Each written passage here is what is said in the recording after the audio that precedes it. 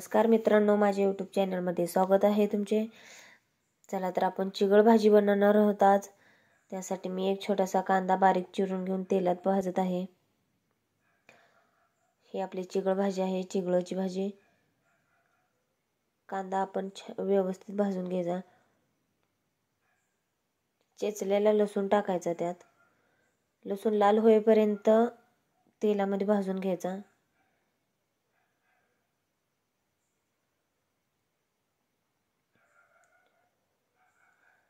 हे पहा लसूण लाल होत आलाय. लाल लसूण होऊ द्यायचा.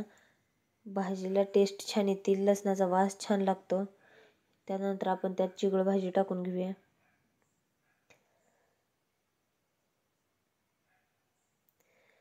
या चिगळच्या भाजीत आपण मटकीची डाळ वापरायची.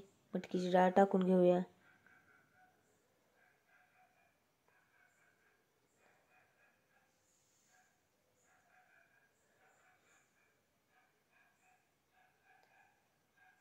आणि चवीपुरते मीठ.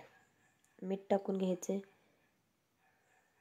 लहान मुलांसाठी पौष्टिक भाजी आहे. आवडीने खातात लहान मुलं. आणि ज्या लोकांना मुतखड्याचा त्रास आहे त्या लोकांनी जर ही भाजी खाल्ली तर मुतखड्याचा त्रास कमी होतो.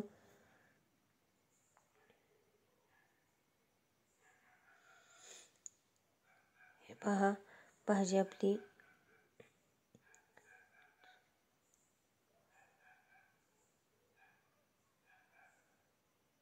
ही झाली आपली त चिगळ भाजी तयार. व्हिडिओ आवडला तर नक्कीच कमेंट करून सांगा.